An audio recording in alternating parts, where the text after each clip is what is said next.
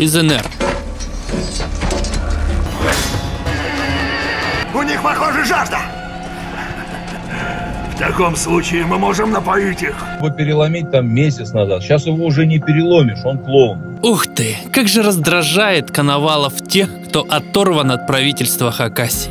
Президент Владимир Путин своим указом назначил в Рио главы Республики Хакасия Михаила Развожаева. Вспомним еще одного деятеля. Причем всем, всем понятно, что он дебил, это никого не интересует. Он открытый дебил. Значит, при слове Зюганов и Грузинин у него происходит э, очевидный просто оргазм.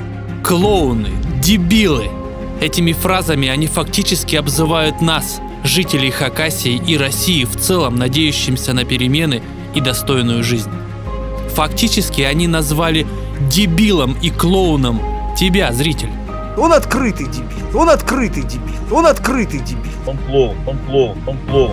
Коновалов сократил госдолг Хакасии, привлек инвестиции более чем на 110 миллиардов рублей, уменьшил расходы более чем на 100 миллионов рублей и продолжает сокращать расходы дальше. Запустил полномасштабные проверки по всей Хакасии. Основное поручение главы при назначении меня на должность – это разобраться в первую очередь, э, исключить любую коррупционную составляющую при э, деятельности министерства, а также посмотреть э, дела прошлых лет. Нами подписан целый ряд соглашений на сумму свыше 110 миллиардов рублей. Но что хорошо для простого народа, то раздражает людей в пиджаках со значками. Ну вот ответьте мне, разве допустимо это, чтобы какой-то холоп из челяди делал для людей больше, чем те, кого благословил тот, кого нельзя обзывать? У нас в Хакасии запустилась беспрецедентная кампания по уничтожению имиджа народного главы. Издали вот такую вот газетенку и раздают ее по домам. Ой, как удобно. Суть этой брошюры сводится к одному. Коновалова надо свергать и поставить другого человека, который будет ресурсы земли хакасской по карманам пихать. Впрочем, ничего нового. Стоит отдать должное авторам газеты. Над ней работают не идиоты. Резко запустилась работа в анонимных телеграм-каналах и социальных сетях. Механизм следующий. Это ваши дела. Делается недоинформационное сообщение. Разумеется, никому нафиг оно не нужное, и его за деньги продвигают в социальных сетях при помощи таргетирования. Сами посмотрите, этот пост посмотрело более чем 35 тысяч человек, но при этом 120 лайков всего. Это говорит о том, насколько этот контент востребован у простых жителей. Предлагаю этих махинаторов немного наказать. Зайдите в группу, и над постом справа есть раздел «Пожаловаться». Выберите пункт «Введение в заблуждение». И так проделайте со всеми постами, что найдете, ну или что вас действительно будут раздражать.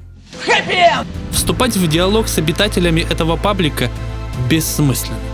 Там за никами людей скрываются проплаченные боты. Вы просто потеряете свое время. Конечно, все эти информационные нападки результата не принесут, а скорее возымеют обратный эффект. Великолепный план, Уолтер. Просто, если я правильно понял. Уолтер, план реально дерьмовый.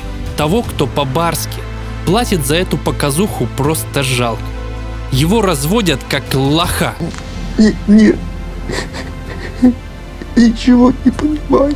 Вот вопрос в том, кого чулымские политехнологи имеют? Зимина, Развожаева или того, кого нельзя обзывать? А вообще мы только начали нормально жить и развиваться в Хакасии, выстраивать взаимоотношения власти и граждан, привлекать инвестиции, строить новые объекты. А все эти чулымские политтехнологи в погоне за легкой наживой забыли про одно – про людей. Они снова пытаются промыть мозги газетенками, телевидением и пабликом. Но народ проснулся. Народ не обмануть. Народ вам не верит. Какими бы анонимами вы ни прикрывались, все знают вашу суть. И что? Если вам понравился ролик, то напишите. Мы не лохи, мы за Коновалова. Это про этих там. Какая разница? У нас не отберут надежду. Оскорбление? Нет, это Спарта! Она мжет.